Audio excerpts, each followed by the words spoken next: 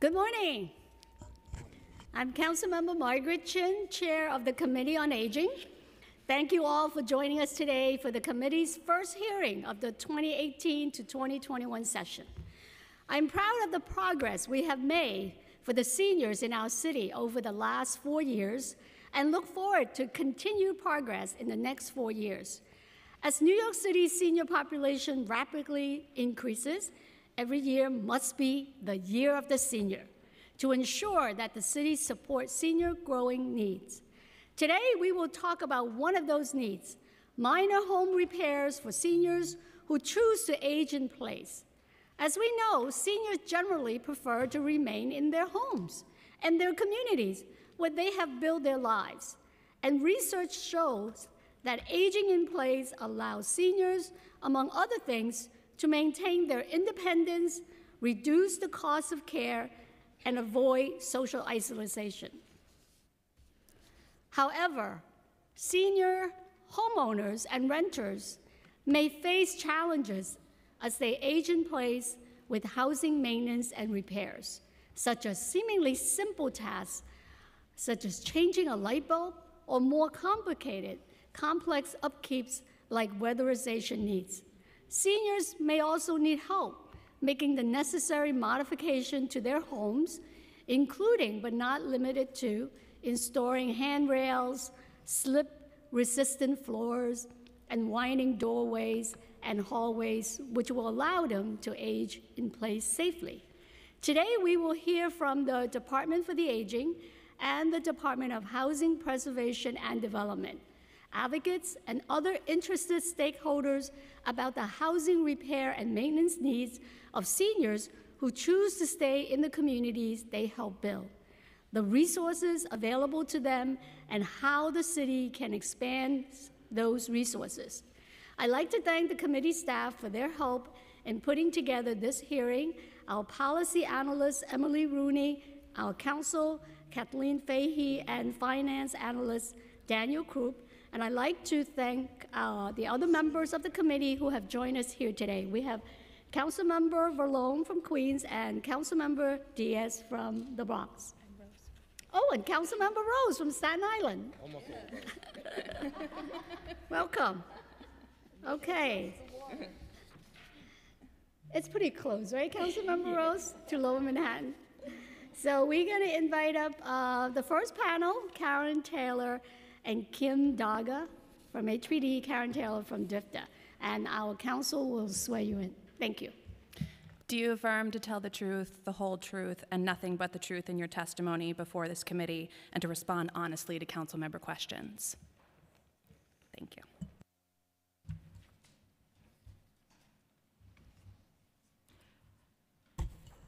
Good morning, Chairperson Chin and members of the Aging Committee. I'm Karen Taylor, Assistant Commissioner for the Bureau of Community Services at the New York City Department for the Aging, or DFTA. I'm joined today by colleagues from the New York City Department of Housing, Preservation and Development and the Mayor's Office for People with Disabilities. On behalf of Commissioner Donna Corrado, I would like to thank you for this opportunity to discuss aging in place and home repairs for seniors. Seniors represent the fastest growing segment of New York City's population. In 2015, New York City's population aged 60 and older comprised nearly 1.6 million adults, or approximately 19% of the city's population. By 2040, New York City's 60 and older population will significantly increase to a projected 1.86 million, an increase of almost 50% from the year 2000. Older adults who were less than one in every six New Yorkers in 2000 will be more than one in every five in 2040. In addition, as individuals age, their range of mobility decreases and need for appropriate in-home services, adaptive equipment, and the least restrictive environment also increases. In 2015, 36% of all older New Yorkers reported some level of disability, including physical disabilities that affected walking, climbing stairs, reaching, or lifting, conditions that restricted their ability to go outside the home, mental, cognitive, or emotional conditions, limitations in their ability to perform self care activities, such as dressing and bathing, hearing loss, and vision loss. Aging in place, the term, describes uh, individuals who are continuing to live in their homes as they age rather than relocating. A majority of older persons prefer to age in place. In New York City, 96% of older adults are currently aging in place in non institutional settings. As the population of older New Yorkers continues to increase, homes and communities become more and more important in the aging process as well. Recognizing the vast majority of older New Yorkers, that, that the vast majority of older New Yorkers are aging in place. Intro number 702-A of, of 2015, introduced by former council speaker Mark Viverito and Chair Chin, was signed by the mayor in June of that year as Local Law 51. the law required DFTA in consultation with HPD, the Department of Buildings, the Mayor's Office for People with Disabilities, relevant businesses, and nonprofit organizations to create a guide for building owners regarding aging in place. As part of Age Friendly NYC, DFTA contracted with the American Institute of Architects New York chapter Design for Aging Committee, or the DFA, in collaboration with housing experts from across the public and private sector to produce this guide. In 2006, DFTA issued the Aging in Place Guide for Building Owners, recommended age-friendly residential building upgrades. I believe we have some copies here today. the guide recommends residential building modifications to accommodate older tenants. By making these improvements, building owners can help residents remain in their homes as they age, safely, comfortably, and independently.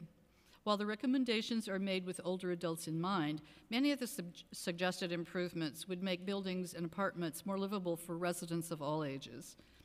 In addition, the uh, AIA Design for Aging Committee secured grant funding to translate the Aging in Place Guide into English, Spanish, and Chinese.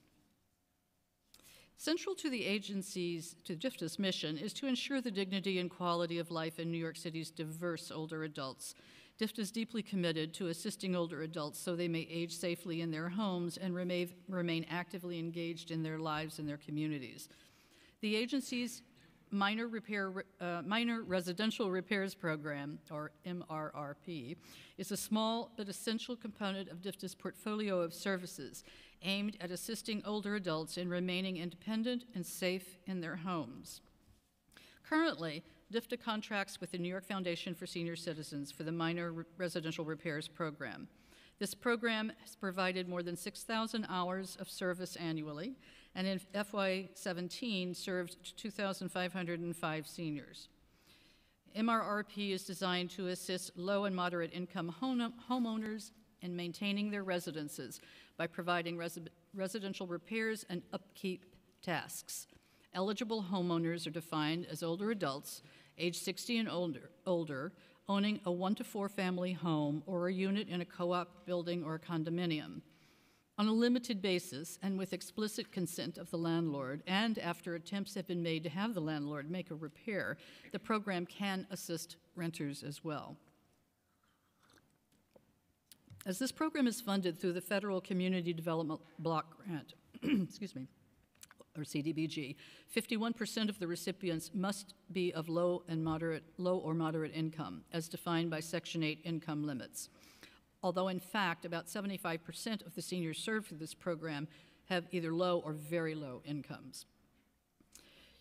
CDBG is a federal block grant allocated to states and local governments based on a formula to address a wide variety of community de- development needs. After an in home assessment is conducted by a social worker, repair staff members are assigned to perform one or more various tasks in the person's home and or on the person's property.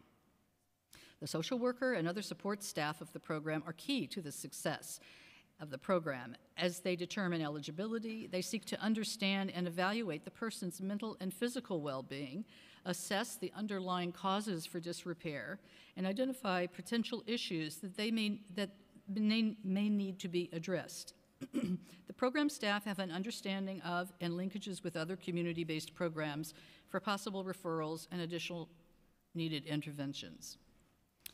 MRRP can assist eligible homeowners and to a very limited extent renters with minor residential repairs, which include safety and security, which could be installation of locks, window gates, other security features, repairing screens, window panes, installing smoke alarms and carbon monoxide detectors, plumbing issues such as faucet repair and installation, unclogging drains, toilet repairs, carpentry such as loose floorboards, stairs, and securing stairs and railings, and treads for stairs, some electrical and heating, minor non-structural electrical repairs such as, as uh, Councilmember Chen mentioned, changing a light bulb that is out of the reach of a senior, uh, or addressing minor heating and cooling problems. Home maintenance, cleaning and repair of drain pipes and gutters, painting and patching of walls and ceilings. Some masonry for homeowners in minor cementing, plastering and patching, weatherization, which, uh, for instance, caulking windows, installing weather stripping, home safety, installing handrails, grab bars, and other safety devices. Minor repair, minor problems in one's home often lead to bigger issues later on if unaddressed. But older adults may find the process of hiring plumbers, contractors, or electricians overwhelming, as many of us do, and the prospect of admitting strangers into their homes intimidating. Seniors who are frail or disabled are often more susceptible to crimes, including financial scams, and thus may avoid situations that would increase their sense of vulnerability. Cost is also a factor in not addressing problems immediately. Seniors often live on a fixed income with very limited disposable funds to address problems that arise.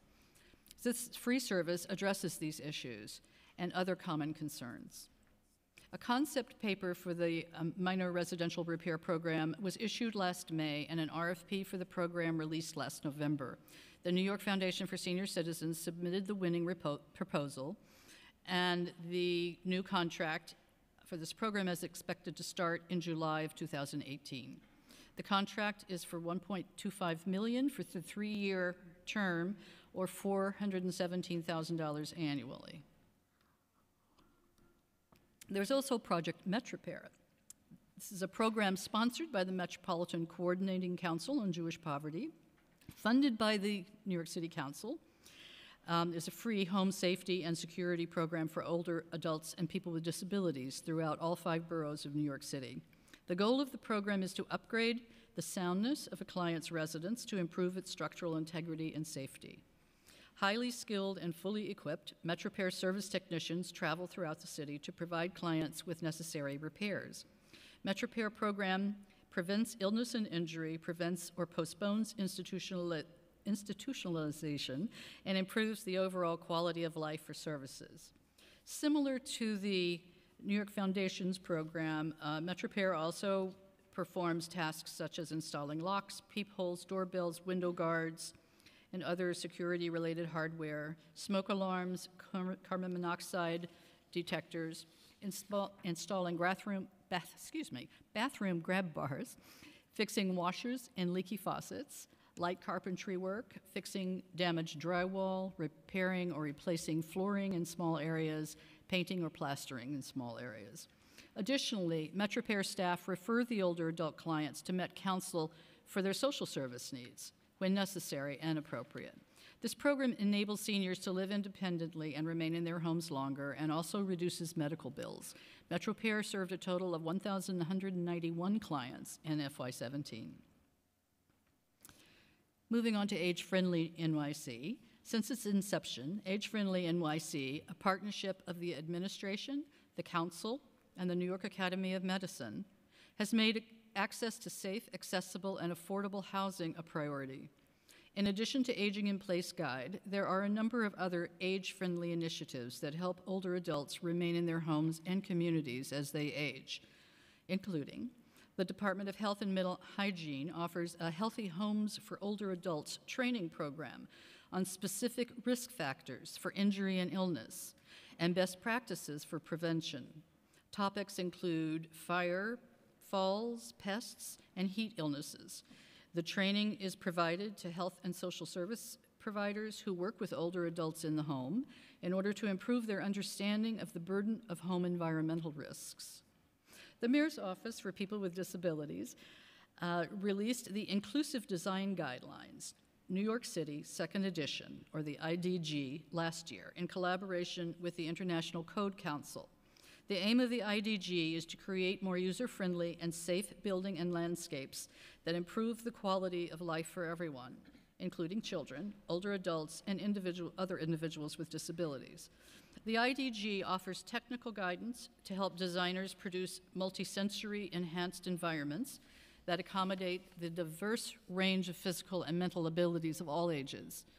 Recommendations in the IDG can be applied for all use and occupancy classifications, particularly residential and commercial buildings. Project Open House, also administered by MOPD, is a home modification program designed to increase independence in the activities of daily living, thus helping people with disabilities remain a part of their communities. Individual eligibility is determined by evaluating income and disability and also is on a first come, first served basis. MOPD conducts outreach in the disability community to seek participants and partners with HPD to operate Pro- Project Open House to increase accessibility in the homes of people with disabilities. For FY17, Project Open House received 102 applications. Services provided include bathroom modifications and installation of a vertical platform lift, handrails, and automatic operated doors. The Department of Consumer Affairs distributes a tip sheet that provides recommendations for home improvement contractors to consider the special needs and circumstances of older adults when making repairs and how they can help older New Yorkers live more safely at home. It's available online in English and Spanish, and DCA also distributes the tip sheet as part of the Home Improvement Contractor License Application packet at the DCA Licensing Center and New York City Small Business Support Center. So thank you again for the opportunity to testify on aging in place and home repairs for seniors, and I'm pleased to answer any other questions you may have. Thank you. And uh, we also been joined by uh, Councilmember Ayala and uh, Councilmember Drum. All right, we're gonna. HPD testify and then Oh yes. Um, HPD have a testimony too. Yes. Uh, Good morning, Chair Chin and members of the committee. My name is Kim Darga. I am the Associate Commissioner for Preservation at the New York City Department of Housing Preservation and Development. I appreciate the opportunity to testify on the steps HPD is taking towards supporting New York's senior citizens as they age in place in HPD-supported affordable housing. Since Mayor de Blasio launched the Housing New York Plan in 2014, New York City has accelerated the construction and preservation of affordable housing to levels not seen in 30 years. But we know that we can do more. With the foundation built these last four years, HPD is now positioned to speed up and expand on Housing New York and our original goal of constructing or preserving 200,000 homes by 2024. Now, with Housing New York 2.0, we will accelerate and expand the plan to build or preserve an additional 100,000 units for a total of 300,000 homes by 2026. As part of Housing New York 2.0, HPD is doubling down on our commitment to serve the city, city's seniors. Uh, to expand affordable housing options for seniors, the administration committed, as part of Housing New York, to create or preserve 15,000 senior homes and apartments. Through our new expanded plan, we will now be serving a total of 30,000 senior households residing in affordable apartments. To meet this additional commitment, we are launching, launching Seniors First, a three pronged strategy to better serve seniors. Uh, first, uh, make more homes accessible to seniors and people with disabilities. Second, build new 100% affordable senior developments on underused NYCHA land and other public and private sites. And third, preserve existing senior housing developments. These initiatives will increase the number of affordable senior housing units within the city, as well as improve the ability of seniors who live in affordable housing today to age comfortably and safely in their current home. Today, I would like to focus on our commitment to making improvements and modifications in the affordable senior homes over the course of the next eight years. This will enable, enable seniors to stay in their home uh, and community as they age and create inclusive neighborhoods for people with disabilities. To meet this goal, we are expanding the requirements for preservation projects, which are existing buildings that receive funding for renovations and agree to adopt regulatory protections for residents. New HPD-funded rehabilitation projects will be required to include accessibility improvements and their scope of work, identified through an enhanced building physical needs assessment.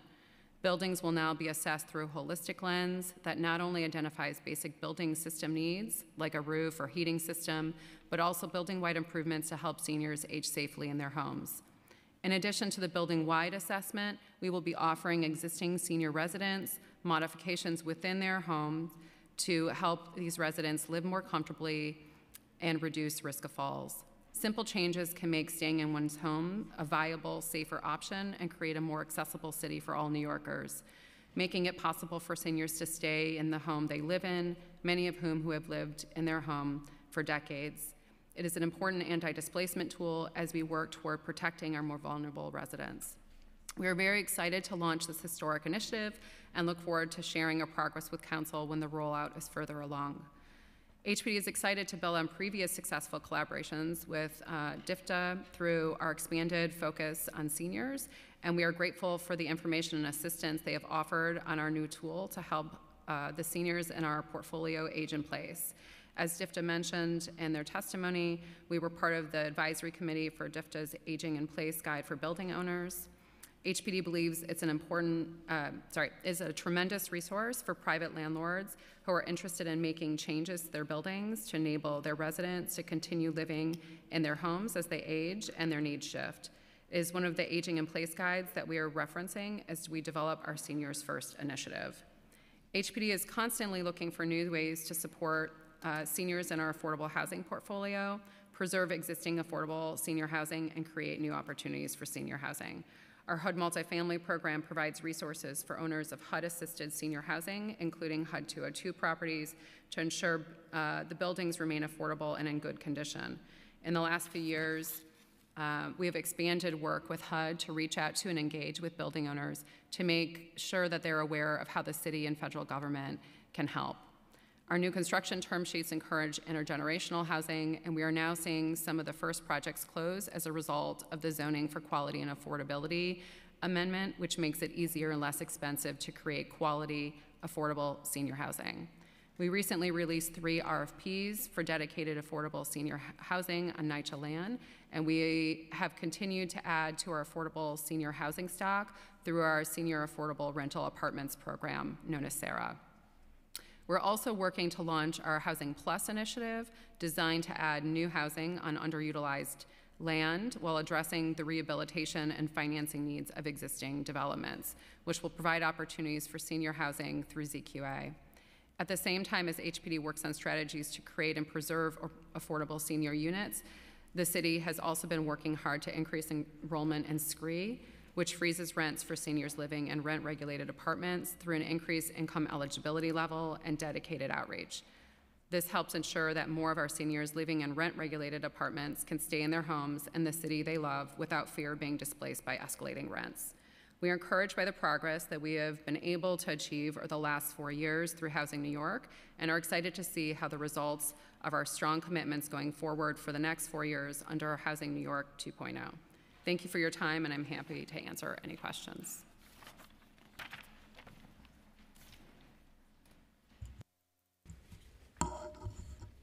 Good.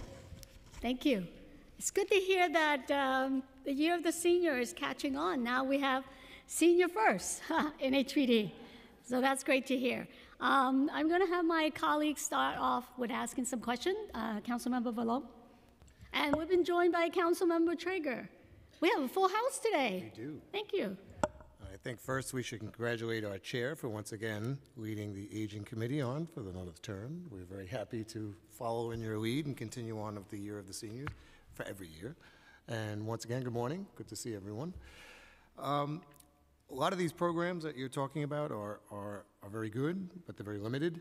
So I wanted to know your thoughts on the possibility of expanding either the program, the funding, or raising the eligibility requirements, such as the, the income limitations that many of our seniors don't meet. I'm not sure which of the programs you're talking. About. Just about any one of them is limited to either I'll- I'll go disability first. or, or income, which knocks out just about 99% of Queens County, so. Well, in terms of the um, program, the minor residential repair program that uh, is funded with uh, community development block grant funds, the income is set by HUD, actually.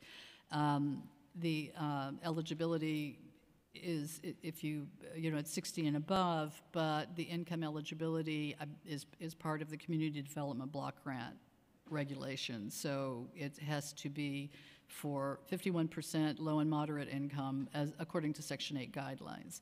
So we don't have a lot of flexibility in that particular program for raising income, but there are plenty of takers of the program that do fall within that, um, that income range.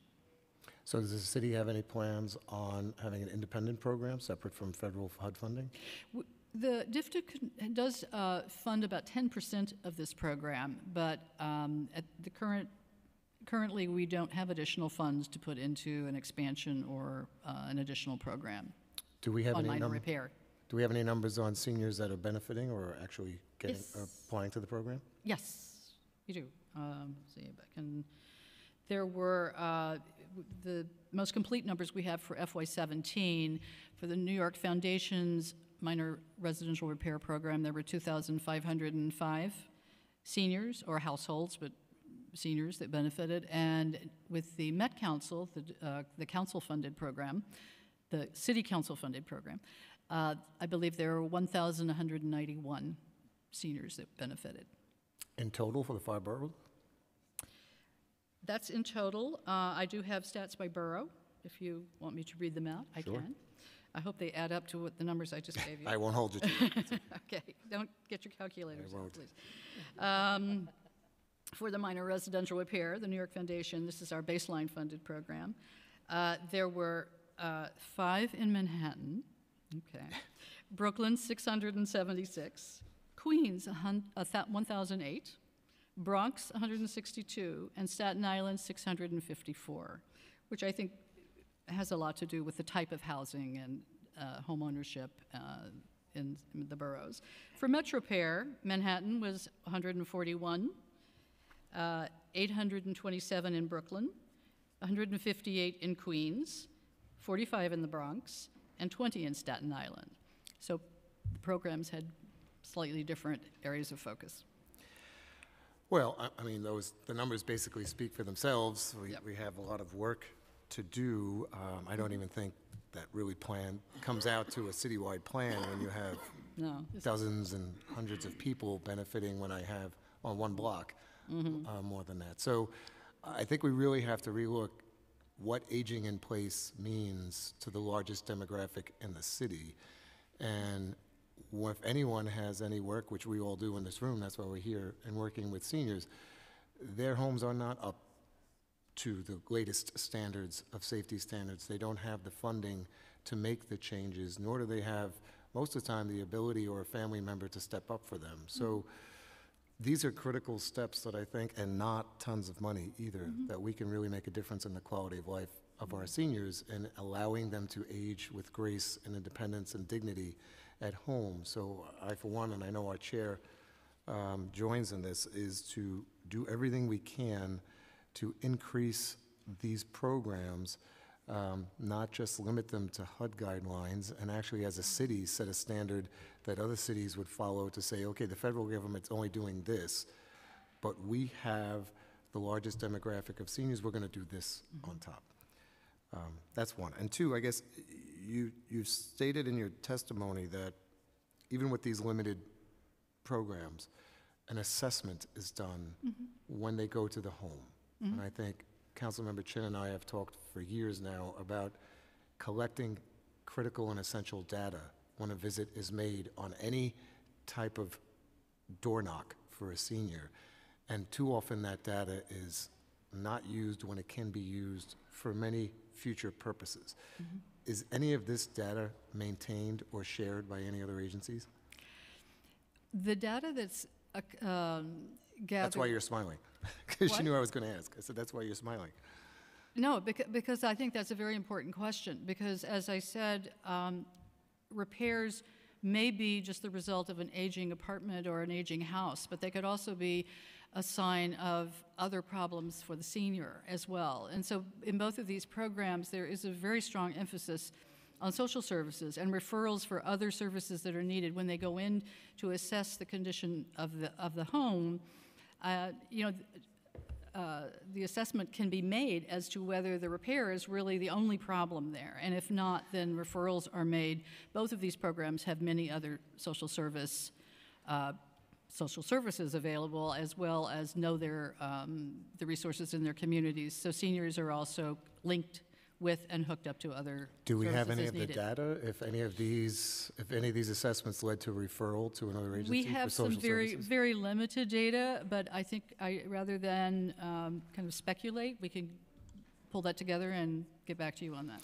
Well, that might be a way we can expand a program that's limited in its scope to actually achieve additional purposes Mm-hmm. that maybe, whether it's through training or at least if s- on-site, that the person going to provide the service, that we can then flag and automatically start some type of follow-up referral program with another social service or a family member to alert them, which goes back to another battle Margaret Chin and I have been having for years of creating some type of emergency contact Right. information per senior. I think the Department of Health and Mental Health uh, program I mentioned also is working on that as well by training social service agencies on how to, what to look for when they, uh, regarding home repair, when they do go in to do assessments and in-home services.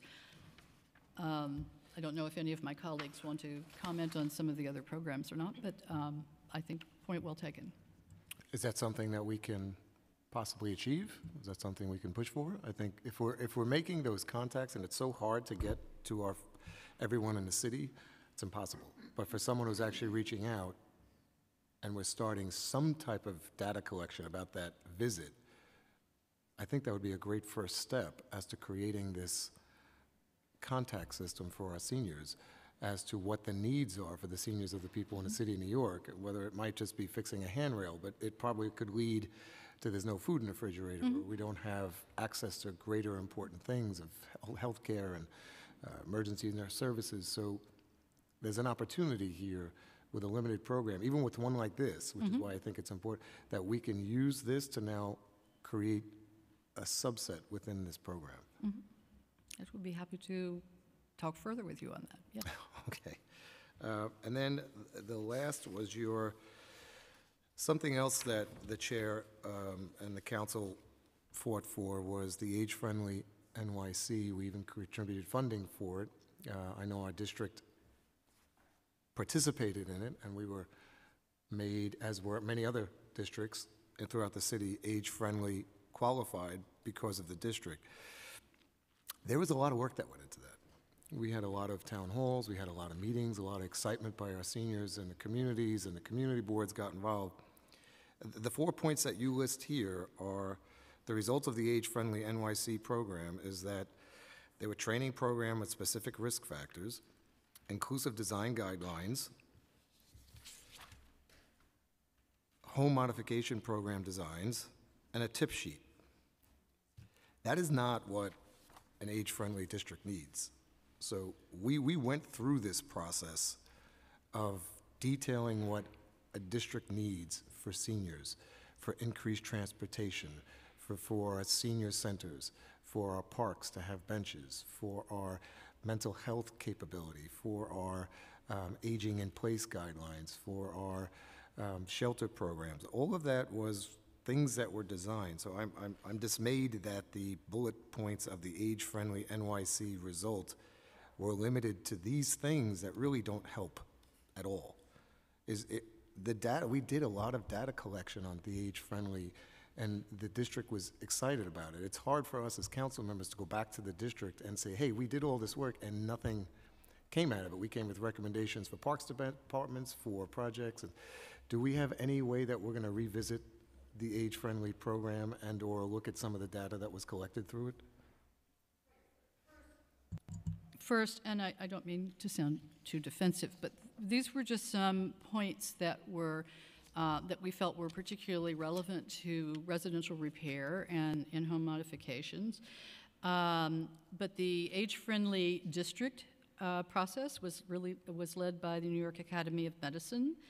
And uh, then the initiatives were led by the agencies, but uh, there's obviously a lot more to the Age Friendly NYC initiative. That's, it's a huge, um, you know, like a huge process, but these were just some examples of programs that came out of that initiative that relate specifically to the uh, topic of this hearing. So then I'll, I'll just wrap up and hand back over to the chair. I think there's a lot of opportunity because we did the work already in specific communities throughout the city, determining what the age-friendly needs are for seniors in the city of New York, and then breaking it down by borough, and then breaking it down by neighborhood. Um, That now the next step is actually funding those neighborhoods to achieve those needs. And I mm-hmm. think instead of wasting that great data that we got, and this might be related to home repairs, but that's an essential part of keeping mm-hmm. aging in place. I think we need to not let that data just say, okay, we did that. We need to do mm-hmm. something about it and actually produce. And I think you have 51 council members who would happily include, and even in their budgets, some initiatives for a new park that would include some age-friendly for their schools and the parks around them, for the transportation alternatives or the lack thereof. It goes on and on. But we can partner up to make, God bless you, to make sure those happen. So I'd, I'd look forward to working and revisiting the information through the age-friendly program. Thank you, Chair. Thank you. Um, Councilmember Dromm, you have questions? Thank you very much. Ooh, wow. Am I on? Yes. One? Oh.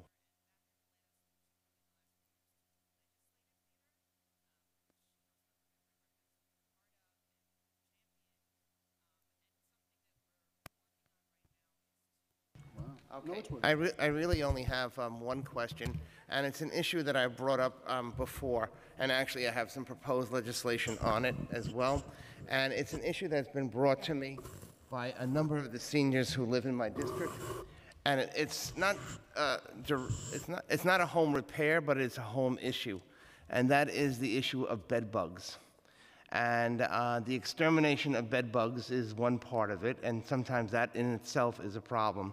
But the other piece of it is um, moving furniture to get to the bed bugs. And what has happened is that in buildings where they do have regular extermination all the time, um, they'll come in three, four, five times, six times, or whatever, but they can never really get to the root of the problem because they can't get behind the furniture or move it, and the seniors can't move it. In one case in my district, there was like a 93 year old woman living with like a 70 year old daughter, and neither one of them could really move the, this, the, uh, the furniture. And then, interestingly enough, I got a call from um, somebody in one of the southern states of the country who had seen my legislation online.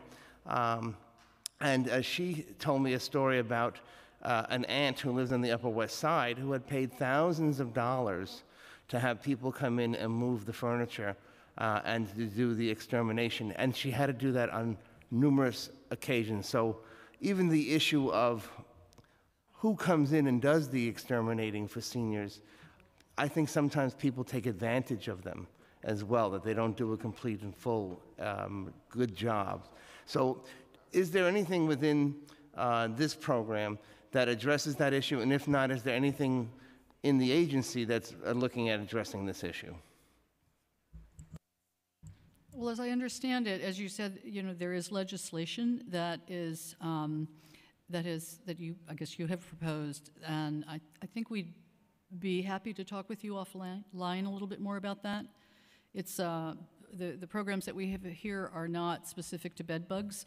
They're really about more, or, or pests, but, um, but it- what you bring up is an interesting and a very important point, so we'd be happy to talk to you So, is, is it an issue that you've heard About bed bugs? Yeah. Oh, of course. with the seniors? Yes. Do you track any of that?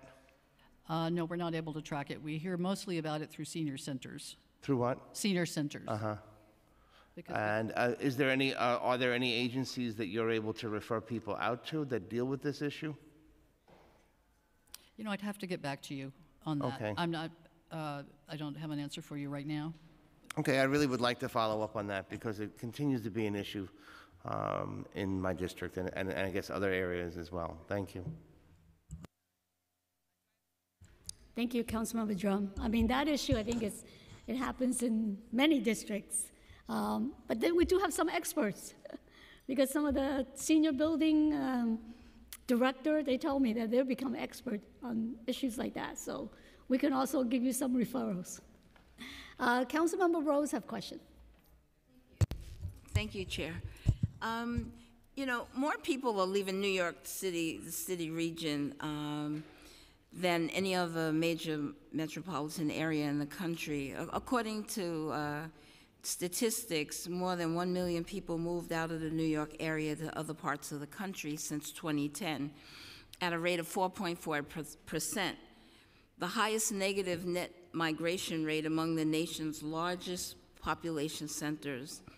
Um, And if we're going to remain truly a diverse and vibrant city, we should be doing everything we can to retain our seniors and the incredible knowledge and experience that they bring. And so I, was really concerned about several things. Um,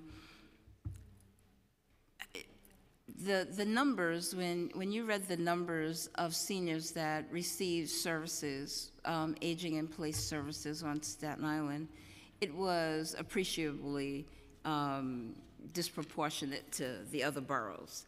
And, um, and you said that uh, that probably is due to the type of housing that we have. And, and I have to agree that um, we don't have the large numbers of subsidized housing, um, rent-controlled housing, um, but we have a lot of privately owned housing. Um, and understanding this, what measures have you taken to to increase the the resources and the support that seniors who live in Staten Island, who live in privately owned houses, um, are able to um, access these services, and, um, and and what's being done to to market and make this um, these programs known to the seniors? Because the response that I get from my constituents is that they don't know about these programs. So I know I asked you two things. Um, you know, I'm really concerned about how we balance the inequities um, that we see in terms of resources for seniors aging in place in privately owned homes. Yes, ab- uh, absolutely. Um, The statistics that I read are actually uh, seniors that are in privately owned homes. The the, uh, vast majority of uh, home repairs for these programs are done um, in uh, homes, one to four family unit homes that are owned by a low-income homeowner, uh, elderly homeowner, 60, age 60 and above. So these are, these are actually for the, uh, the privately owned communities. And the numbers, um, you know, you know, Staten Island actually did have quite a number of, uh, of, of, of people that received repairs from this one specific program, but it doesn't reflect the number of people that are served uh, overall with aging services by any means. It's, it's actually a much larger number. However, um, uh, we do, both of these programs do extensive outreach in multiple languages, um, and the department provides information on these programs at um, such as uh, at health fairs or certainly anytime we get referrals uh, or questions from the public about home repair or uh, home modification, we would then re- refer to these programs as well. Um, we can always talk with you more about how, you know, if there are specific uh, programs that you would, we can share this information with you to um, work on. Well, I'm, I'm really concerned about, you know, the numbers. Um, there's quite a disparity between the numbers of seniors on Staten Island that are receiving services from these programs. And, um, and we have a very large senior population. And so I want to know what you're going to do in terms of making sure that more seniors receive these services. Well, we can work with the programs to do additional outreach in Staten Island and look into this a little bit more carefully to see um, whether these are income eligible homeowners. I'm not sure if that's a factor or not. And as um, we had discussed earlier, but we can certainly look at all the factors for this that uh, that accompany these programs and see what more can be done. So I have a commitment from you that we're going to have a, another conversation. Oh, um, be happy to have another, absolutely be happy to have a conversation with you about this further, yes. Okay, and, um, uh, you know, given the current climate in Washington DC, is the minor repairs program endangered? Um, uh, Is the funding endangered? OMB has assured us that at least for the next fiscal year, fiscal year 19, um, funds are in place. We don't know after that. We don't know. We, well, nobody knows after that. And um, if they are, if we are impacted, um, what is the dollar figure? What does that look like? How much is that? The amount of the contract on an annual basis is uh, 414,000, I think, or 417. Um, About 10% of that is funded by the city now, so um, I think it's around 389, something like that, 389,000 roughly. That comes from the federal government, so that's what, And that serves about approximately how many seniors? uh, 2,500, 2,500. Thank you. yes. Thank you. Uh, Councilmember Diaz? Thank you, Thank you, Madam Chair, and good morning, everyone. Uh, you are, your name is Karen Taylor, and you are an assistant commissioner. Correct. What is the commissioner name? Our commissioner is Donna Corrado. Commissioner of the Department for the Aging. We have eight, one, two, three, four, five, six, seven, eight council members attending this first hearing. Uh, is, there's a special reason why the commissioner cannot come herself? Is, is there any special reason why the commissioner didn't come in person herself? I believe she wasn't available to come, Is any special reason why? but she, but she will, but she is planning to be at the budget hearing. What was that? She is planning to be at the budget hearing. Not, th- she's not available, she wasn't available at this time to be at this particular hearing, but she will be available at the budget hearing, which I believe is scheduled for later in March. I think that this is this is this is our first public hearing trying to find out the needs of your department mm-hmm. before the budget hearing so we could help. But the commissioner is not here today and i'm saying hey we got eight eight council member here we woke up early Well, I'm speaking to on be her here. behalf. We came, let me, we came all the way here. I came from the Bronx. I had to get up at five o'clock in the morning so I could beat all the traffic. I'm here. We got, I got seven colleagues here, but the commissioner is not here. Don't you find that disrespectful? I'm sorry, sir, I can't comment on that, actually. All right, let me ask you a question. Okay.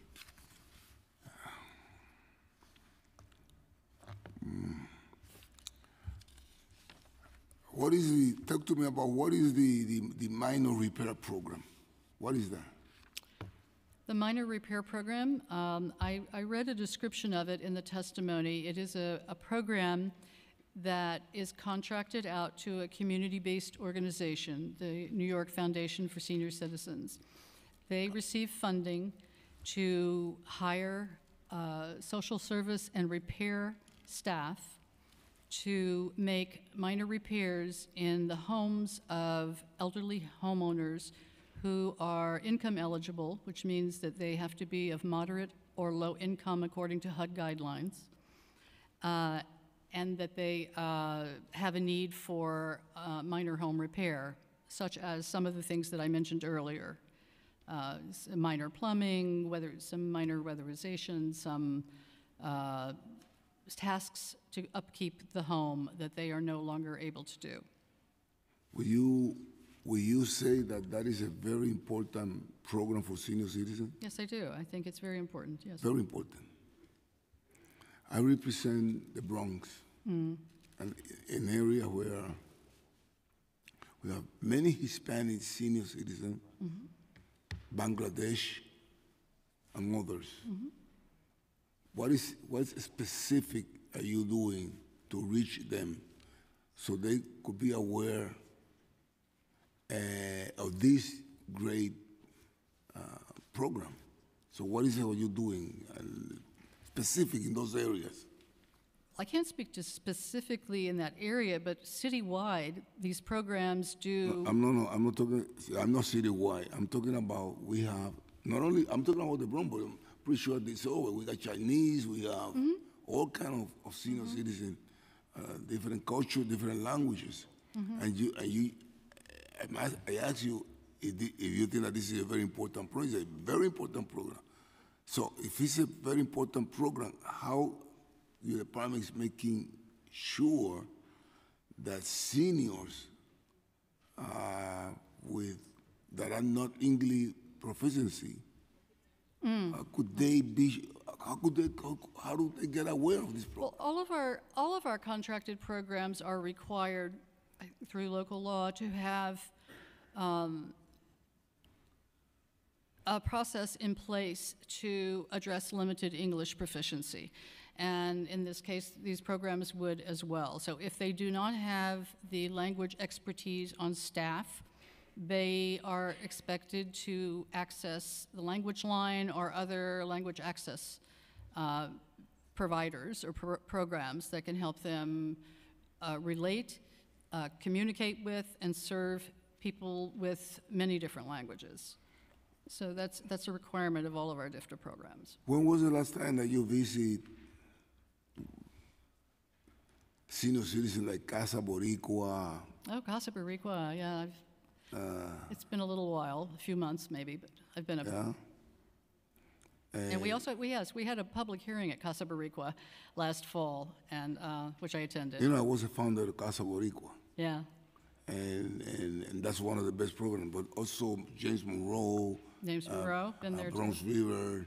Bronx River, Been there, Bronx River. Yeah. Douglas, Do- Douglas Leo. I mean, we have programs that needs that. Pro- we have centers that really needs a program like this, but I don't see the department making an effort to reach them, so they could benefit from the program. I, uh, the seniors that live in the. I don't blame you. I'm blaming the commissioner. excuse me? I am not blaming you. I'm blaming the commissioner. Well, but the seniors that um, are the recipients of these particular programs, we have a, we have a huge variety of other program, of all, of, of programs. In uh, my particular area oversees the senior centers, and we certainly have a wide variety of services that are available through senior centers.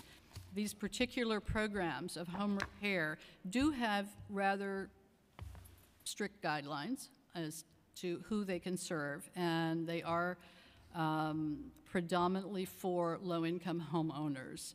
So it may depend on the neighborhood um, and Thank you. as to what. And please convey the commissioner my uh, concern about she's not being presented, Okay. where a council member woke up early to be here to help the department. It would have been very, very nice, very comfortable to have seen her. Also waking up You early. will, ha- you will have an opportunity Thank you. shortly. Thank you. Uh, We've been also joined by uh, Councilmember Eugene and Councilmember Deutsch. Uh, Councilmember Ayala, you have a question? Good morning. Thank you, Madam Chair.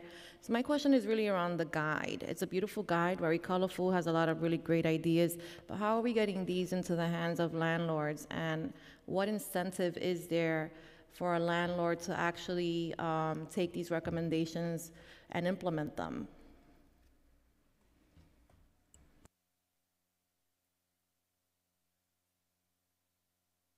Sorry. Uh, The department has um, broadly distributed the guide. We've performed um, a number of outreach and marketing strategy, or we've developed a number of outreach and marketing strategies, including printing 500 copies for distribution, and this was made possible due in large part to grant funding secured by the New York chapter of the American Institute of Architects. As mentioned in the testimony, this grant also allowed us to have the guide translated into other languages, um, now available in English, Spanish, and Chinese. In addition to hosting a well-attended kickoff event, the attendees of which included architects, design professionals, Chairperson Chin, and other elected officials, and Deputy Mayor Buery, the guide has been promoted online, on social media, as well as in print media, including the New York Times, Architectural Digest, and in other smaller publications. Finally, efforts to raise public awareness of the guide remain ongoing. Our outre- outreach teams at the department continue to publicize it at community meetings and events, and we're also pleased to report that the guide will be excerpted in the forthcoming Cooper Hewitt Smithsonian Design Museum publication, The Senses Design Beyond Vision. Uh, so that's the res- response regarding marketing and outreach. I think the um, your question about whether uh, what incentives landlords have, um, there is no legal these are not laws. Uh, They are recommendations, and that um, the incentive would hopefully be to provide a better environment for the seniors that are aging in their buildings and to maintain, maintain stability in their buildings. So I, I guess maybe HPD, um, is there any effort on HPD's part to maybe have a conversation with your portfolio of landlords? Sure. Um, That is ac- actually exactly what we're trying to do right now as part of uh, the Seniors First initiative. So we worked closely with uh, DFTA on the advisory committee. And um, the guide is one of the documents that we are using to determine best practices so that we can integrate those practices into renovation scopes. So when a building owner comes to us to finance renovations, um, the assessment that we're doing is actually in the process of being updated right now to incorporate some of the best practices from the guide.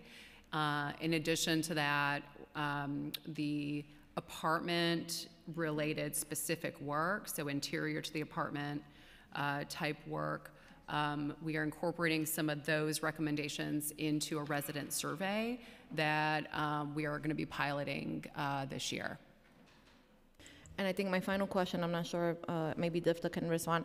Has there been any conversation with um, the admin about maybe, uh, or maybe with NYCHA about home repairs? Because, I mean, they're one of our largest landlords, and um, oftentimes, you know, we, we, in my district, I have several uh, NYCHA senior developments, and we, they don't have supers. Uh, seniors often struggle opening windows, changing light bulbs. There isn't anyone that they can actually, you know, physically call because oftentimes these are not uh, the uh, required job, you know, duties of the uh, the the buildings, the, the developments uh, superintendent, um, and there isn't a maintenance person that actually does this work. So has there been any conversation with NYCHA about implementing some of these recommendations? Um, I don't think any direct conversations? No, not at this point, no. I think that she's got other avenues that they're looking at. All right, thank you.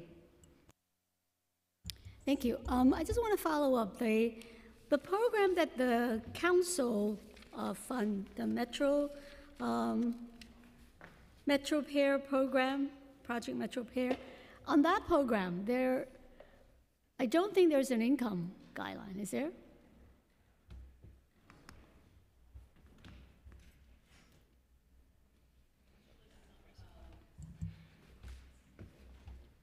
I think there is, but I don't believe I have, Okay, I guess the agency said there is an income guideline. there is, I believe. Okay, thank you. Right. But it's also, it doesn't, um, it's not limited to just homeowners, Correct. right? So following what um, Councilmember Ayala asked, if someone lives in NYCHA um, and found out about uh, this program, they actually could get service. It's possible.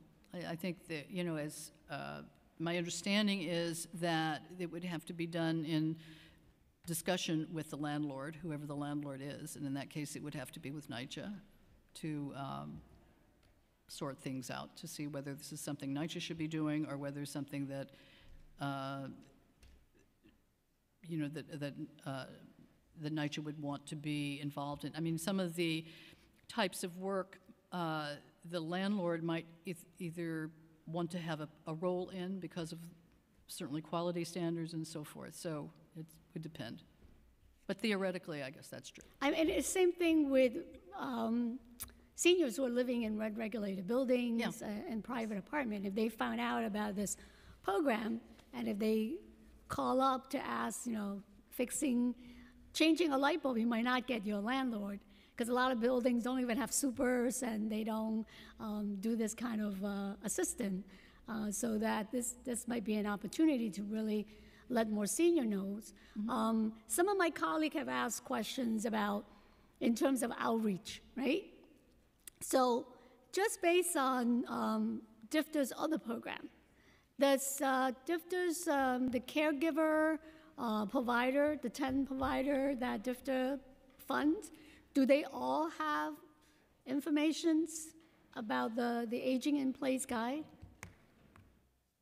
I will have to find out from the caregiver, uh, from the caregiver program and let you know. I think it's been widely distributed among all of our programs, but I will double check with you and get back to you. I hope so. I mean, that's the really the basic, right? I mean, these are programs funded by DFTA. Because what I'm, you know, referring to is that um, we also should make sure that caregivers know about all these home repair programs that are available so that they can assist uh, the seniors that they take care of.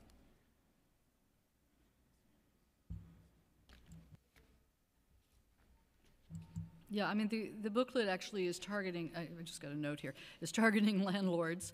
Um, I think caregivers, there's certainly a role for caregivers in, uh, in that process, but um, the booklet is really for landlords. It is for landlord, but I'm saying that for um, all your housing programs, Oh, for that, yes, absolutely. that are Oh, yes, available, Yeah, right? absolutely. Mhm. But even, I think even, even this is for landlords, but It's they, they, they should know about it. Like very everyone should know about it so that at least they know what they can ask the landlord, right, to, to do. Yes, Uh, so that is something that I think all caregivers, even just basically all those programs should have this uh, information. We'll make sure Um.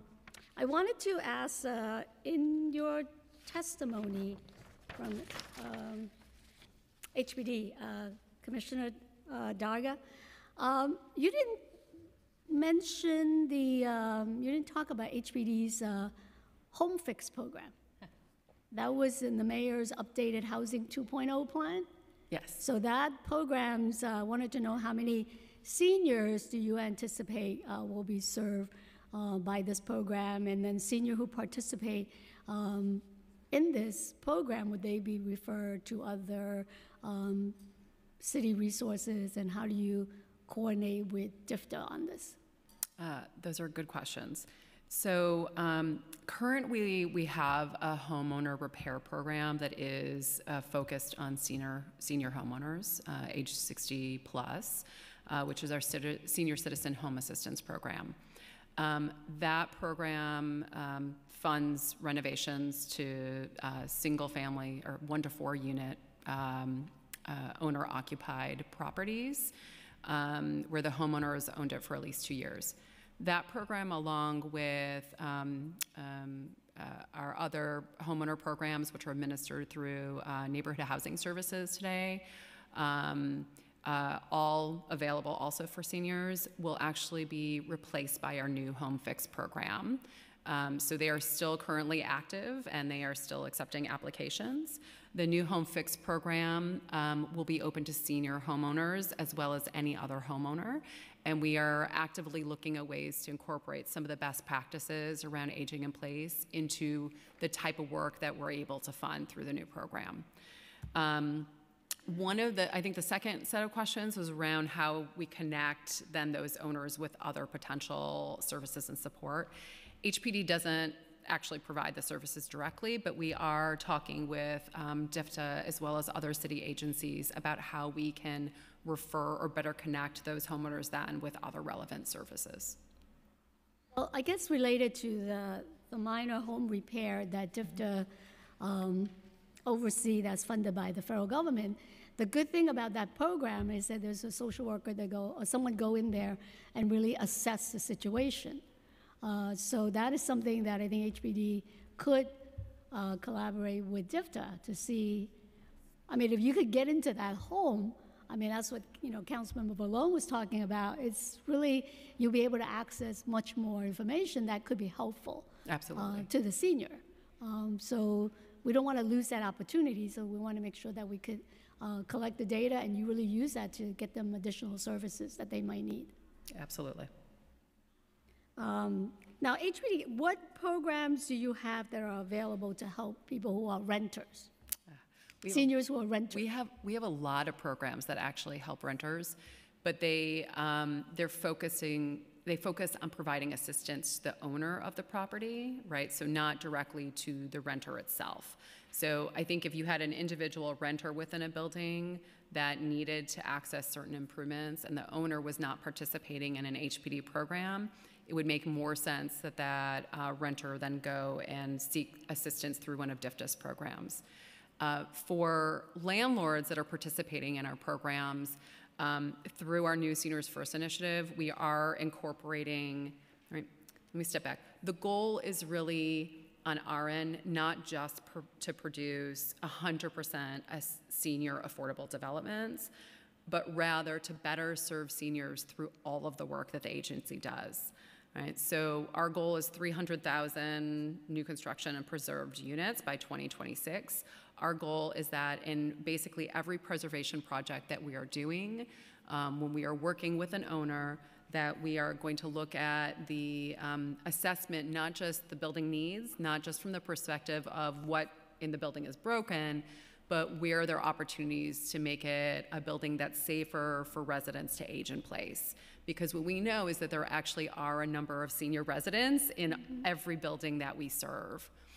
Um, and that's going to be done through the actual needs assessment, which will look at the building itself, so common areas, um, kind of uh, entrance to the building, et cetera, as well as um, uh, then coupling that with a resident survey, which will be delivered to residents. And the residents will be able to actually elect other um, uh, work inside of their individual apartments. Um, which would include some of the best practices that we've discussed today. So, you know, grab bars, non-slip flooring, et cetera. So the person doing the assessment is someone who's trained, um, sort of know about aging in place, what's, So- what's needed and what's required. The, um, so this is the, our integrated physical needs assessment. Um, most lenders, when they are financing renovations to properties, require a physical needs assessment. Over the last couple years, we've made it a more holistic assessment. So we now account for energy efficiency, um, health, redu- reduction of health hazards in housing, and now the latest edition will be um, thinking about ways to help uh, residents age more safely in their homes. Um, that is done by a professional engineer. The, the engineering firms are qualified under um, an RFQ. It's a rolling RFQ. And um, then we actually do kind of train the trainer type events with those firms. So um, we will be sharing kind of some of the work around best practices with those engineering firms so that when we're, they're going out and assessing the building, they understand what they're looking for. Now, in preparing for um, today's hearing, we found out there are many different programs from the states, right? There's uh, access to home residential emergency service, um, the Restore program. So there are different programs that are uh, funded by the state. Uh, and then um, we also find out that there are actually some resources from Medicaid and Medicare that could be used um, to help a senior modify uh, their home. I think the, uh, the Medicare, Medicaid question is mostly around um, equipment. Uh, Medicare doesn't pay for any kind of home modifications. Medicaid, however, could be uh, useful under the Nursing Home Transition and Diversion Waiver Program. Uh, This uses Medicaid funding to provide support and services, including minor home modifications, to assist seniors and individuals with disabilities uh, to uh, make trans- successful transition from a nursing facility. Uh, But it's mostly, I believe, related to equipment, and it's, um, you know, limited. So It's not everyone who has Medicaid. You have to be in a particular um, situation and transition from a nursing home. There are also some programs that are loan programs, right, from in HPD. I mean, do you have any statistic in terms of how many seniors have accessed those, like the, the Restore program? I'm actually, so the Restore program is a state program. Mm-hmm. I'm not very familiar with that. I'm, I'm certainly happy to reach out to the state and understand a little bit more about it and also think about how we could work with the state to deploy that more effectively. The funding doesn't come through, through HPD to a, to a minister? No? Not that I'm aware of, no. The, the programs that we have to actually assist, this is homeowners specifically, um, are the NHS programs that we, so we help fund and work on with them, including uh, Project Help, which is a city, city council uh, funded homeowner uh, initiative. Um, we also have our senior citizen home assistance program. Um, we don't administer any other single-family repair programs today um, outside of those programs. Okay. But I would love some more information about that. I think the, the main point is really how do we make sure that um, residents, homeowner, renters know about these programs so that they can also request assistance and then for HPD to really help us in terms of preservation to let landlord know that these programs are available and how we can work with them. I mean, even with the aging in place guy, it'll be great for landlord to know that there are resources available to help them do those modifications. So there's some incentive for them to be a little bit more involved and, and really take the initiative uh, to do that. Uh, putting a handrail, um, let's say along the hallway, definitely will help a senior navigates when they're going up and down the stairs. Uh, but getting the landlord to do that voluntarily, unless there are programs that can help them, you know, I think that we really have to make sure that they know about these programs and then we can access them. Yeah, absolutely. We agree. Um, and just, I, I would say on the outreach on our end, we do uh, extremely extensive outreach both to homeowners as well as multifamily building owners. Um, it's certainly a challenge because um, single family home ownership um, and especially small multifamily home ownership is the ownership is fairly fragmented. Um, but we've developed a series of outreach kind of programs over the last four or five years, including property resource clinics, uh, our landlord pilot landlord ambassador program, um, where we're doing regular outreach, and we are always looking for ways to collaborate with community groups and elected officials to try to get out to the right folks. Um, so I would certainly encourage um, encourage you know anybody to reach out to us. Um, in addition, on homeowners specifically, we work really closely for the Center for New York City Neighborhoods um, to make sure that homeowners have appropriate counseling. And I think we could think about ways that we could deploy the resource guide through them as well as through the work that we do with landlords. Yeah, I think moving forward, I mean, there's 51 council member, and there are districts where there are a lot more homeowners, like in, uh, in Queens and Brooklyn, Staten Island. Um, then there are places, districts where there are a lot of uh, renters. But I think it'll be good for DFTA and, um and HPD to really work with each of the council members um, to do the outreach, whether it's conducting homeowner uh, uh, fairs and information, just to really get out there. Because I know that the resources are limited, and it's good that even with that limited resource for minor home repair, you're able to serve a lot of seniors. Um, I was just surprised it was just a small pot of money uh, from the federal government. Um, so maybe we could show the needs and we can um, either get the city to match it um, to make sure that the resources are available. Um, you have any other questions? Okay. Well, thank you for uh, coming in to testify today, and we look forward to working with you um, on expanding these programs. Thank you. Thank you. We are going to call up the next panel. Okay. Uh, from Live on New York, Andrea Cianfrani. Uh, Bedford Stuyvesant Restoration Corporation, Dr. Indira at uh, Warren.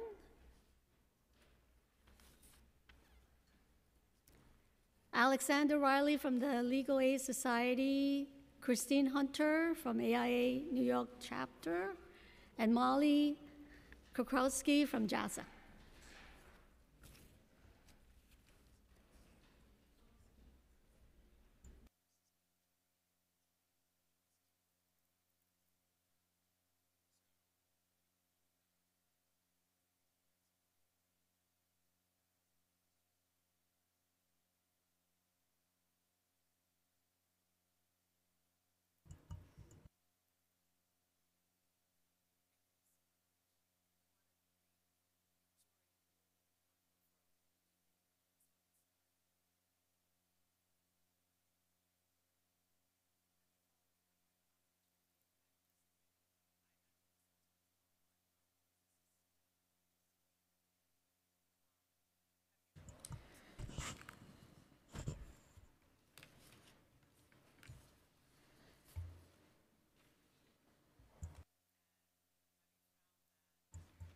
Please begin. Sure. Good morning. Uh, Good morning, Councilmember Chair Chin, uh, Councilmember Vallone. Um, Thank you very much for calling this hearing today. Um, We were also so pleased to see such a great um, group of council members throughout this hearing um, to talk about this important issue. So thank you again. Um, we really look forward to working with the entire council and the city um, moving forward this year. Uh, my name is Andrea Cianfrani. I'm the Director of Public Policy at Live On New York. Um, Live On New York, as you know, um, has about 100 members, community-based organizations throughout New York City that provide services including affordable senior housing, senior centers, home-delivered meals, elder abuse prevention services, and many others to older adults in New York City. Um, First and foremost, today, we're, we're here to talk um, and, and proud to talk about the work of our Affordable Senior Housing Coalition, which is comprised of more than 20 of the leading non-for-profit developers of affordable senior housing with services here in New York City. Um, This coalition and through the work of Live On New York, we recognize that enabling seniors to help age in place is more than just bricks and mortar and buildings, but really about fostering connections to the community and promoting healthy living overall. Given the mission-driven nature of our, the member organizations, uh, many offer social services such as senior centers or service coordinators that enrich the lives of thousands of older New Yorkers each year, in addition to an affordable roof over their tenants' heads. We believe that in addition to the housing itself, these types of community-based services are integral to fostering the aging in place model. For seniors, uh, we all know the ability to age in place can have a positive effect on overall health, including improving cognitive outcomes, reducing rates of depression, and preventing social isola- isolation. HUD has found that 89% of Americans over 50 wish to age in place for as long as possible, and further, as highlighted in a recent AARP study, supporting aging in place can help ward against quote unquote overcare, which in which occurs when individuals are forced to make the costly move um, to more elevated um, situations of living, including nursing homes, simply due to the fact that the residential options are unavailable, unaffordable, or inaccessible. Beyond, the internal value for seniors who are able to age in place, the presence of older New Yorkers in the neighborhoods they've helped build builds a positive impact on the entire community. And this is something that we really like to talk about a lot at Live On New York and really highlight the, what seniors mean to our communities. Um, seniors improve these communities through their commitment to civ- civic engagement, volunteerism, and assisting with the care of younger future generations through caregiving. In effect, the inability for seniors to age in place would not only have a negative impact on their own quality of life, but would tear at the fabric that makes New York's communities so vibrant and cohesive. The uh, vacancy rate is something we also wanted to highlight today here. In New York City, uh, the sparse availability of affordable housing hovers around 4%, and many older New Yorkers live on fixed incomes, as we all know, so they face very limited options for housing that meets their needs. Um, further, currently less than 5% of housing is considered accessible for individuals with an even a mo- moderate mobility difficulties, and this heightens the need for um, accessible, affordable housing. As we know, we sit here today at the hearing, the population continues to rise and the needs will continue to rise. Um, and we are very pleased that the city, the council, as well as the city is really looking at this issue from a number of angles. We know we can't just um, produce more housing and that would solve the problem. We also need, know we need to look at preservation, things like SCRIE that was mentioned here, um, things like the home repair programs, as well as the production of new affordable um, senior housing. So we are very pleased with the city's work in these areas and look forward to continuing to partner in those efforts. Um, we do want to highlight in Housing 2.0, which you heard about today, we were very pleased to see the increased emphasis on the needs of seniors um, and the Seniors First initiatives. In the plan, uh, Mayor de Blasio increased the city's commitment to not only construct or preserve a total of 15,000 units of senior housing, but to serve an additional 15,000 seniors through age-friendly improvements and modifications. We're excited to collaborate with HPD as well as DFTA and the city to ensure the success of all facets of the Seniors First initiatives within Housing 2.0 um, continue to, to address these challenges that we, we continue to face. We know that home modifications, as we've heard today, can be a very uh, low cost and cost effective way to improve, improve the stock of affordable housing and help preserve that housing and, and keep it seniors in their homes. We also recognize and, and um, the importance of the impactful minor repairs program that DFTA runs that we heard um, quite a bit about today. And we, as always, we look forward to continuing to work to increase and um, strengthen those programs. Um, we also just wanted to raise the importance, and we've talked about this for many years, um, advocating for the city to um, continue to, or to establish a funding for, stream for service coordinators in affordable senior housing buildings. Um, I really wanted to highlight, you've probably heard the self, recent self-help study that's found some incredible data on the importance of having a um, service coordinator in housing and how it can really um, increase health outcomes um, in a positive way. Just some um, highlights from that study. Um, Service coordinators have been found to positively impact their health outcomes of tenants, um, finding that residents with access to a service coordinator as compared to other seniors in the community experience 68% lower odds of being hospitalized.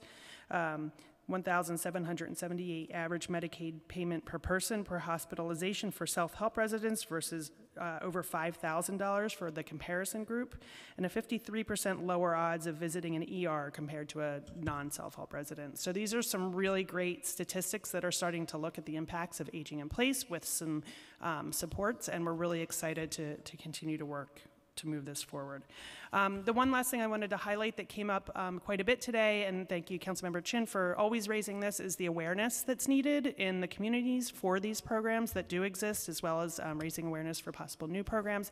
Um, we're always ready, willing, and able to talk about how we at um, Live On can assist in these efforts and help spread awareness of these great programs that are helping seniors stay in their communities. So um, we'll continue that drumbeat as well, and thank you for raising that um, always on not just the programs here today, but all the great programs that are being um, offered for seniors. And then um, as that awareness grows, we know we can continue, continue to advocate for more. So thank you for your work, um, and we look forward to working with you as we move forward.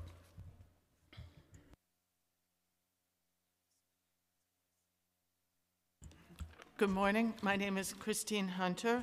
I'm a principal at Magnusson Architecture and Planning in New York City and also a current co-chair of the Design for Aging Committee at the American Institute of Architects New York chapter. Over the past eight years, our interdisciplinary committee of architects, interior designers, and other professionals has been looking at the environmental challenges facing the growing number of seniors who will be aging in place over the next quarter century throughout the five boroughs. And everyone has talked about, you know, how New Yorkers or seniors prefer to age in place, so I won't beat that horse. Um, that said, many existing buildings, not to mention the infrastructure of many neighborhoods, were not designed to conform with current accessibility code provisions and present hazards for older residents or limitations to their mobility. As they grow frail, some seniors become isolated because it's not easy to navigate from their apartment to the street, or in other cases, they experience totally preventable falls that then lead to hospitalizations. We applaud the City Council for their prior initiatives and concern for passing the Local Law 51. Um, we were delighted to work with DFTA, to be invited by DFTA and work with them to create the guide. And we did feel that the guide was very useful or is very useful to both seniors themselves and their families. That was one reason we, as a committee, put in the grant application to translate the guide. And in, in relation to, um, to dissemination, uh, you know, hard copies are expensive to print. We did print more copies than original of, in each language, and we but we also printed cards, which in three languages, which provide the, um, the digital link to the online PDFs of each version. And so what, what we're intending to do is to try and get both hard copy, you know, a set of hard copies and a big stack of cards to every councilperson's local office, every community board, and we'd like to do every senior center. That was sort of our initial idea about dissemination. I'm sure there's a lot more that can be done, and we'd be very happy to work with the city and maybe get assistance from the city in, in getting the word out. Because um, we do, I think a lot of people just, it doesn't occur to them what's, you know, getting in their parents' way or, or how, how easy it might be to make certain things easier. Um, in terms of next steps, the challenge is how to encourage or incentivize private owners to make what are in most cases fairly simple changes, both within dwelling units and throughout the common areas of a building. Uh, financial rebates or credits would get the widest participation by owners. However, we recognize that this would take time and a lot of political will to put in place. Um, more immediately, we would support and be very happy to, you know, help to develop um, pilot, a pilot renovation project which could really, um, you know, on a set of existing buildings, perhaps some owned by a nonprofit owner, for instance, that could, um, you know, where you could really quantify costs and understand better after the pilot program how to put a larger program into place. Um, so the AIA and the, and the, Design for Aging Committee have been collaborating for a number of years with both with the New York Academy of Medicine on their age-friendly neighborhood initiative, as well as with numerous city agencies, including HPD, DFTA, the DOB, and NYCHA. We look forward to continued work together to help the city's seniors, who ultimately are all of us, to be self, health, safe, excuse me, healthy, and fully engaged in the life of the city. Thank you.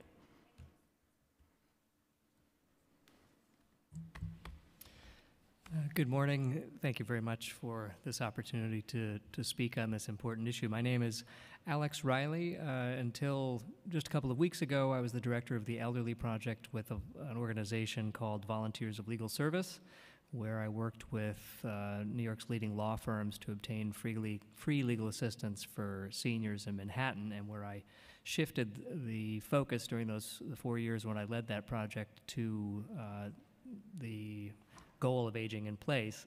But just about a week ago, I uh, went back to the Legal Aid Society, where I'd previously worked as a staff attorney in Legal Aid's Brooklyn office for the aging. I'm now there at, in a newly created position, which is Director of Elder Law for the Civil Practice. So, Councilmember uh, Chairwoman Chin mentioned this is the year of the senior. Um, the creation of this position, I think, uh, reflects Legal Aid Society's um, renewed emphasis on, on uh, focusing on this population.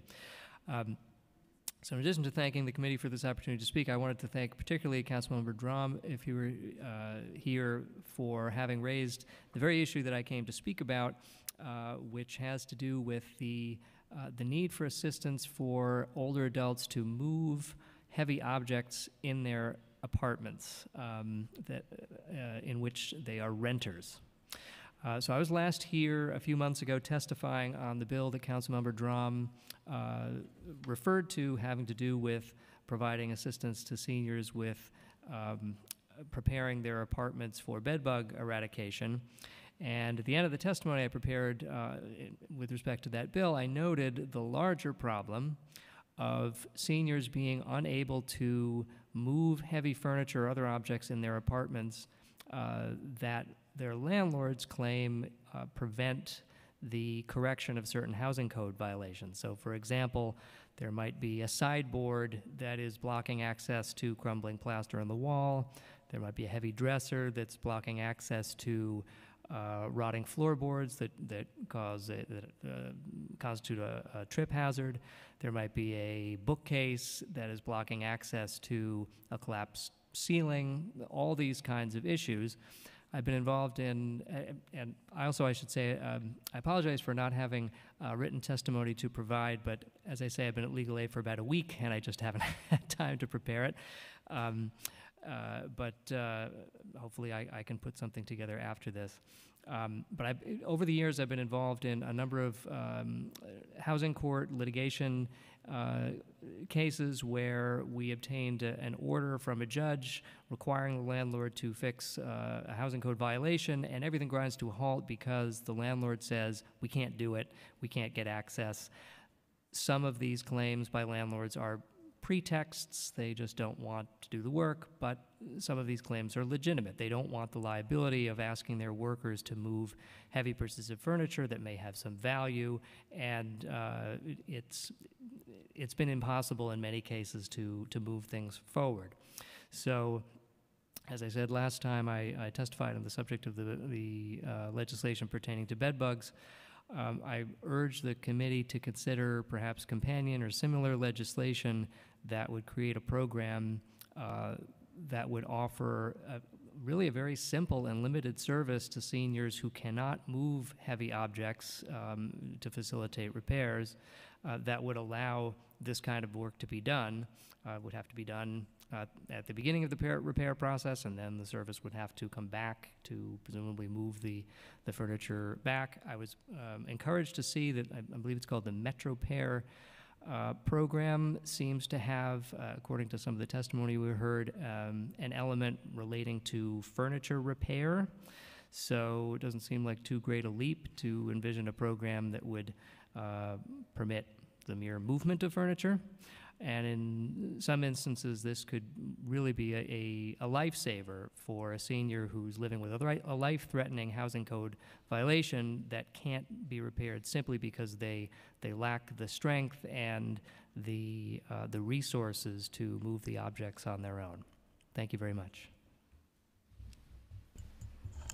Hi, uh, my name is Molly Krakowski. I'm Director of Legislative Affairs at JASA, and I want to thank the Council and Councilmember Chin for hosting today's hearing. I also was just inspired to speak today, um, so I don't have anything for you um, per se, but I wanted to highlight um, sort of two areas that I guess um, kind of complement Alex um, in that looking at sort of the bigger picture. And so JASA has a, a contract currently for the Assigned Counsel Project, which is to provide assistance, legal assistance to older adults in housing court in Queens.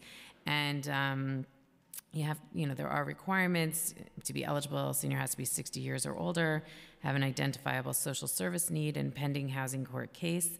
Um, and seniors could be facing eviction due to non-payment of rent or holdover allegations, et cetera.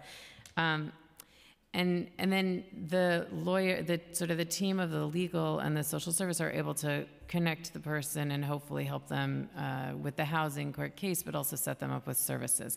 And the reason why I bring this up is because um, the newer legislation having to do with universal access um, to um, to lawyers in housing court doesn't really take the place of a signed counsel project, and it's not meant to. Um, but there are a lot of seniors who don't fit into the universal access because of their income requirements. Um, they're just above the 200% um, poverty limit, and they're really in need of assistance. And the Assigned counsel project is funded at a level that really doesn't allow fully to address the needs of older adults in court, so that our lawyers are able to address maybe 10% of the seniors who come through the courts in, in Queens. So um, seniors are attractive targets for landlords looking to harass and evict longtime uh, tenants uh, with lower rents. Uh, there are about 200,000 older adults who are on waiting lists for senior affordable housing, and um, certainly we're very eager to see what comes with the um, mayor's initiatives to try and preserve and create additional affordable housing. We're looking to partner in any which way we can. Um, but between the housing court issue and not having the lawyers that are spec- uh, specifically there for older adults, um, and then the bed bugs, which uh, we also testified to um, Intro 189 um, and Councilmember Dromm's um, legislation, uh, one of the biggest things that we also have been finding, obviously, aside from just trying to go in and address a very challenging need that's not limited to older adults in New York City, um, is um, the challenge that um, that comes with moving the furniture and really preparing um, in every which way these apartments to be um, to be handled. And um, this is a need that we obviously don't see declining. Um, uh, despite preventative measures, outbreaks are going to be inevitable. Um, and we would really just look to the city to see what, in fact, they could do in any way to assist um, in in this challenge. It's it's something that JASA has taken on um, significant financial um, strain in trying to address, obviously, these needs within our buildings um, and where we can with clients.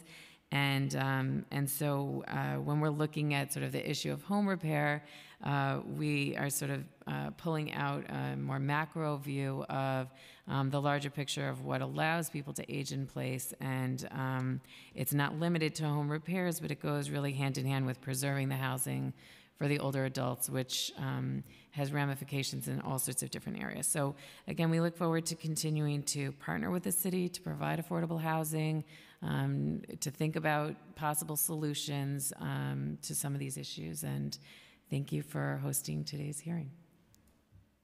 Thank you. So the, the project that you have, the assigned Counsel project, so that one, there is no income requirement? Or, Um, it's not limited, it, the income requirement is not the chief component, no, and that's a minister? through DFTA, To DFTA. yeah. When they were looking at the Universal um, uh, Counsel, um, we were involved in uh, the initial conversations. One of the things that our lawyers um, and our legal um, services were really trying to highlight was the need for when there was that rollout to put seniors in sort of the first category of people who were very much at need of counsel in housing court. And um, the response was more or less there's the assigned Counsel project, and then this is going to be by zip codes and by other factors in terms of who needs and trying to um, focus on families and, and other um, populations. Uh, but there are these people who fall into that gap then. So either expand assigned counsel project um, funding um, or figure out a way to um, address the more immediate needs of seniors who are facing eviction and um, serious challenges. Do you, do you know offhand what's the budget for the assigned counsel project? I don't know. Maybe somebody else knows. I know that there's also an R. I mean, there was just an RFP, so um, so it's. Uh, but I don't know the I don't know the budget offhand. You have to go through an RFP for that. Project? For the sign counsel project, yeah. Okay, so there must be, uh, so if DFTA can find out for us, Yeah. and then we can see maybe through the budget process. Because that, that could be something that we can uh, work with the Councilmember Dromm on. And the same thing with the, uh, the issue about moving furniture, how to incorporate that with the, um, with the legal component. Yeah. Um, We can, May I uh, just Yes. add uh, something uh, brief? Um, So my, uh, so as I've said before, I, my title is Director of Ed Law for the Civil Practice, but uh, I'm based in our Brooklyn Office for the Aging uh, at- in downtown Brooklyn, uh, where we have a whole holistic team of lawyers, social workers, and paralegals. We also participate in the ACP program. And An additional limitation is um, Well, first of all, I should say that, that the ACP cases are referred by the court. Judge makes the referral, and there's a whole process. But the, the only cases that are appropriate for ACP referrals are ones where there is both a legal and a social work, social services type uh, component. So um, you might have a senior who uh, has a very significant legal need, but in the estimation of, of the court, doesn't really have a social work need, that case will not be referred, or shouldn't be, under the guidelines as an ACP referral. But most of the, uh, the legal services agency that the council support, I know that oftentimes we just refer the senior directly um, to legal aid, legal services, um, and they would, they would get the help um, that they need. Uh, Yes, that's, that's right. I think the, the previous discussion about ACPs perhaps was a, as an example of where there is targeted funding for, uh, for work, particularly to work with seniors, and, that- but there are limitations, though there, are not, uh, as we understand it, um, income-related limitations specific to that program. There are other kinds of limitations, such as the fact that there must be a social work need in order for such a case to be, to be referred. And, and also, uh, again, I'm uh, quite new to my position at Legal Aid, but my understanding is that um, the way uh, the, the financing works for the ACP cases is that um, the providers are paid on a per-case basis for, uh, for ACPs as opposed to other kinds of uh, grants and programs where a provider receives just a, uh, a sort of lump sum um, amount of money purs- uh, pursuant to the grant or an RFP. Thank you. Well, thank you all for coming to testify today. And um, I guess we all have to help get the word out that a lot of these wonderful programs are available to our seniors. So thank you. Thank you. Thank you. Uh, Is there anyone else that would like to speak that didn't, uh, you have to sign up? Oh, you did? Oh, wait.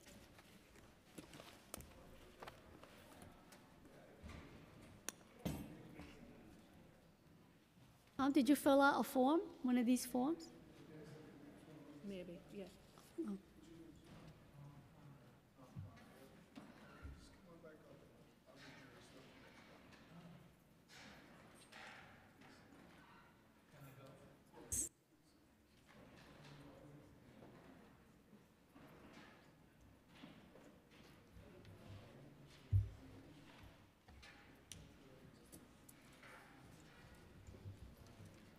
Is there anyone else that wants to testify?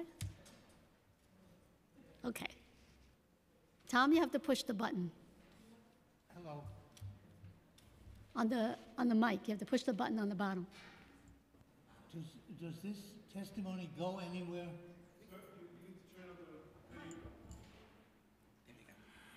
Does it, does this testimony go any other place than this room? It's on the record, so anyone can look it up.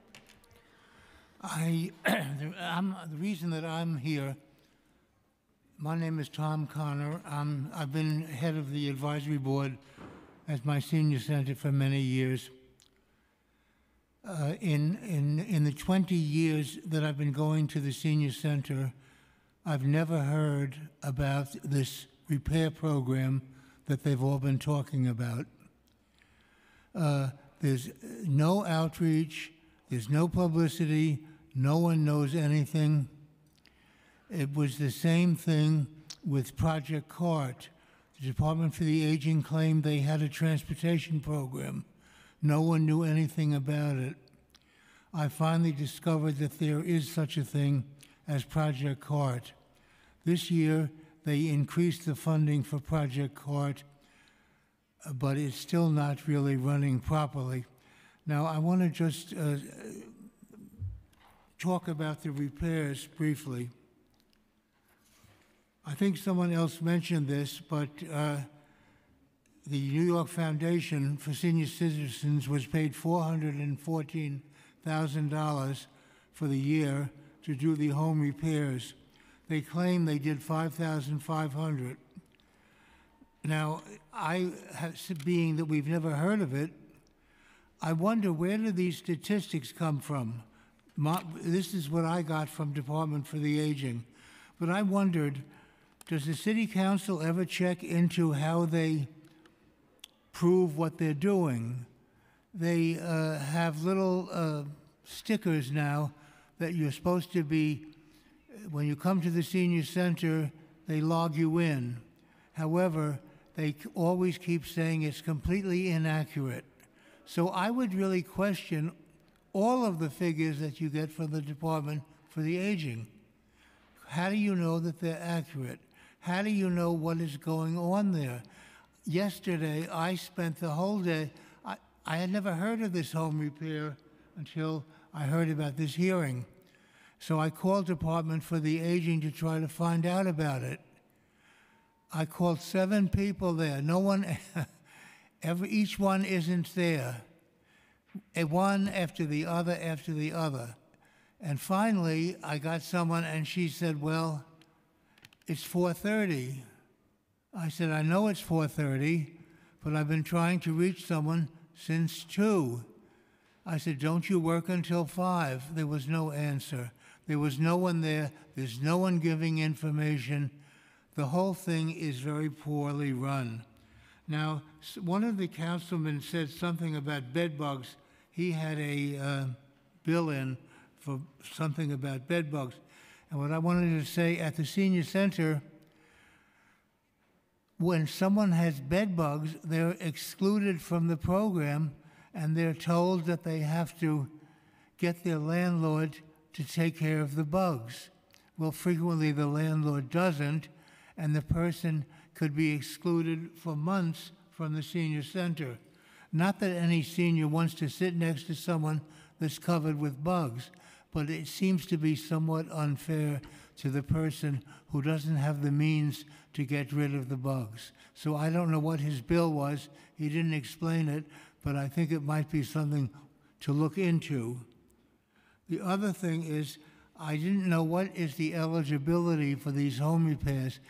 They seem to say there was a fee, there was an income eligibility. I'm surprised at that because if you go to the Metropolitan Council Jewish Poverty, there is no income eligibility. And if you need a grab bar, they will do it free. And they're getting money evidently from the city, and, and New York Foundation is getting money from the city. So why should one be free and one not be free to a senior who needs it? These are questions that I think another, when uh, Mr. Diaz uh, spoke, he said he was concerned that the commissioner wasn't here. Well, I was, uh, I was concerned also because the commissioner, when do we ever see her? When can she be questioned? And then when are there follow-up questions? There were so many instances here today of things that I heard that I felt were not true, but I was not able to eh, say anything about it at the time.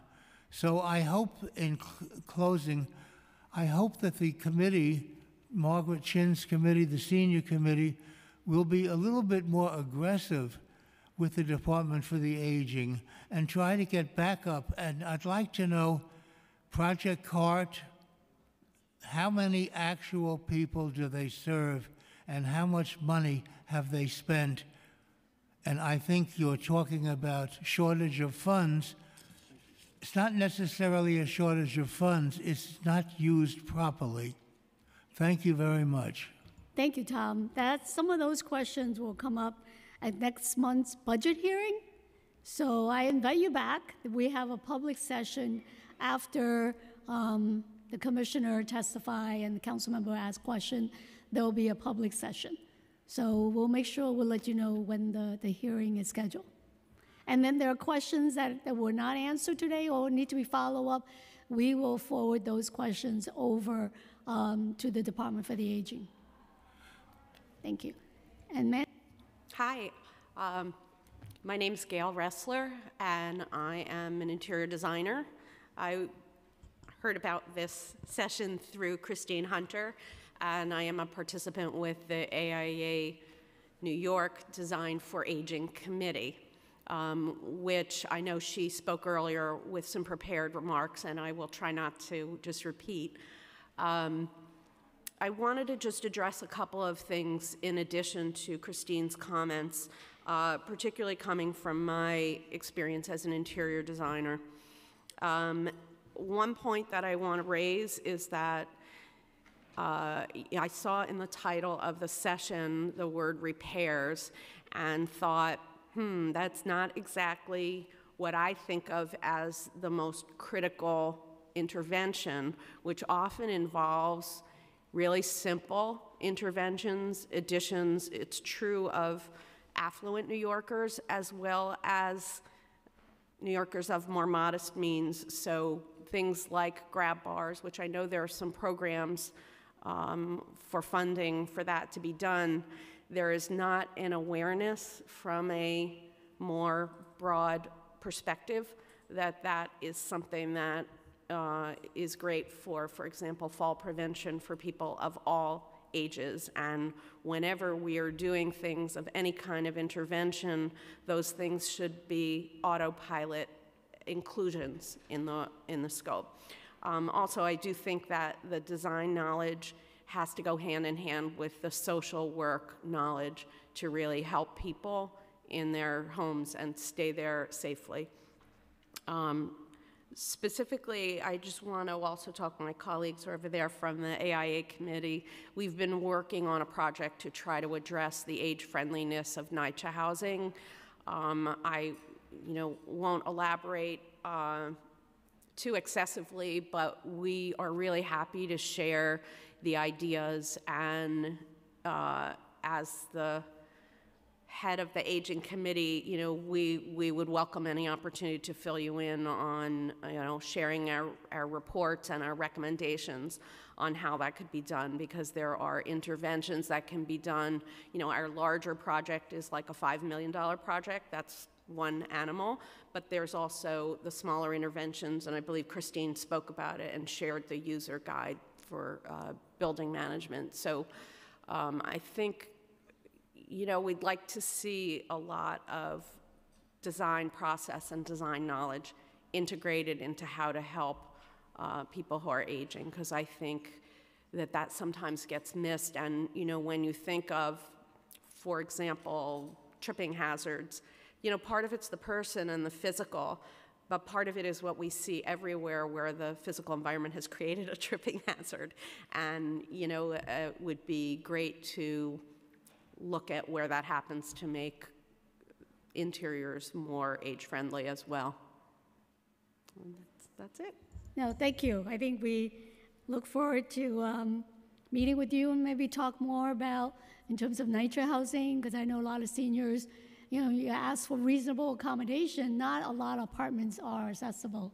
Right. So if they are lucky enough to live in a NYCHA apartment and wanted to continue to live there, if there are things that we can help them kind of um, modify and fix so that they could live there comfortably, we should definitely work Would, it. would love to share the info with you. Great. Thank well, you. thank you, and thank you for being here today.